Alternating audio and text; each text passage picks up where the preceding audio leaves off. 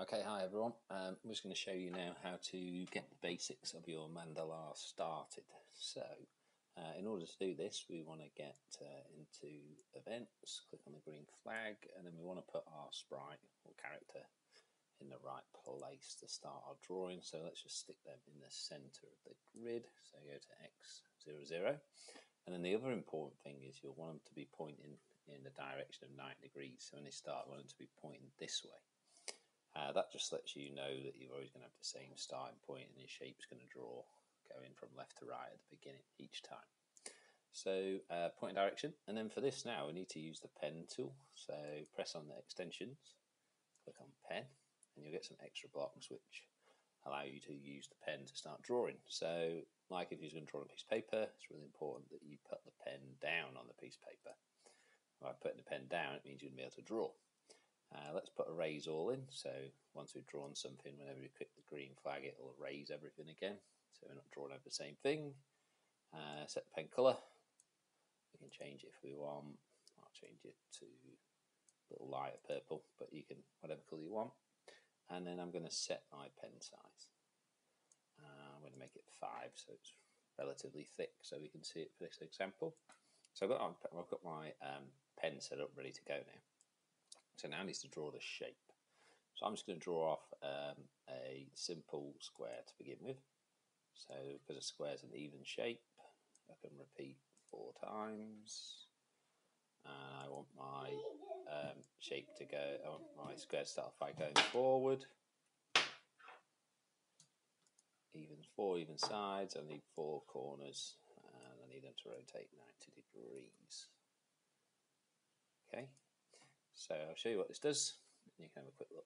So press the green flag and I have a square. Now my cat's kind of covering my square, which is a little bit annoying. So what I'm going to do this time is I'm going to go back to pen. I'm going to, actually I'll show you what happens if you don't do it. So I'm going to glide my cat out of the way. Um, but I'll bring that on in a minute. I'm going to put my, I want my cat to go up here out of the way. So then it changes the XY for me. So I'm going to glide the cat to that position. So now watch what happens. So I click go, raises, draws and leaves and goes away. But because I've got to take the pen up, I'll leave this line behind. So go to pen and before the cat moves I want to put the pen up. So let's have a look. Draws, moves out of the way. Okay, so that's how to draw one basic square. But obviously I need to, uh, for a mandala, I need repeating shapes.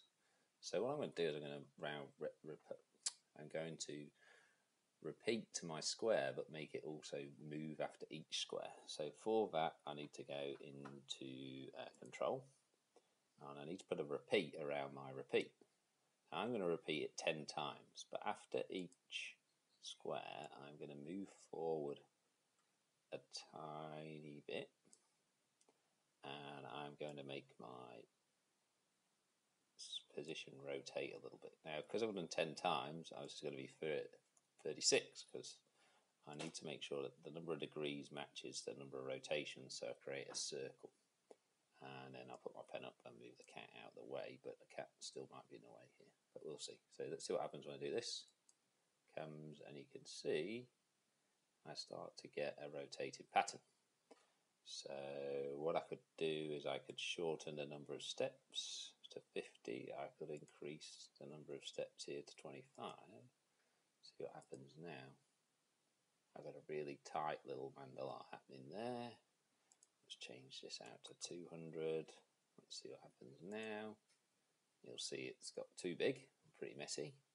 So let's try uh, 150. Let's just try one more here.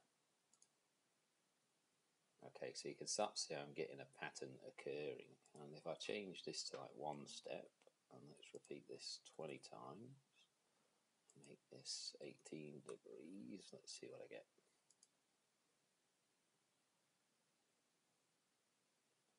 Okay, so again, different different things happening now. So you could start to do similar and you could adjust obviously the shape that you want. So this little block of uh, shapes there for me is a square, but you might want to change that square bit and put in the code for a different shape that you want to occur. And then these two here are really fun for your rotations um, that you can do. So you might want to adjust these two as well here, which makes the changes to how spread the shapes are and how many, and that obviously this repeat dictates how many of them are. So actually there's 20 squares there if you wanted to count them. You could, and if you wanted to see that easily, you could put a wait after each one of them. So let's see now, it'll draw a square, wait, another square, wait, another square, you get the picture. Okay, so I'm just going to erase everything on my screen there. And you could also, if you wanted to, let's just uh, get my cat back in the right place.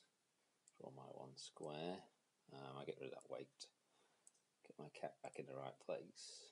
Draw my shapes. Get him out of the way. I actually don't like the cat for this, so you could change the cat to a different sprite. Uh, let me show you. You could do uh, choose sprite. There was like a pen sprite or something. So I'll get a pencil sprite. Bring that in. Um, I'm going to shrink my pencil down. Oh, delete that first. Delete my pencil down so it's a bit smaller.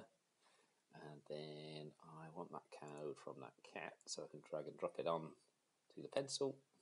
I can get rid of the cat, and then I'll draw with a pencil instead it's a bit more friendly. I just like the pencil a bit more. But yeah, there's how to make a basic mandala. Now you need to use that to create your even better mandala, a more complex one, changing the shapes and the rotations. But this is the code here. Good luck. Enjoy.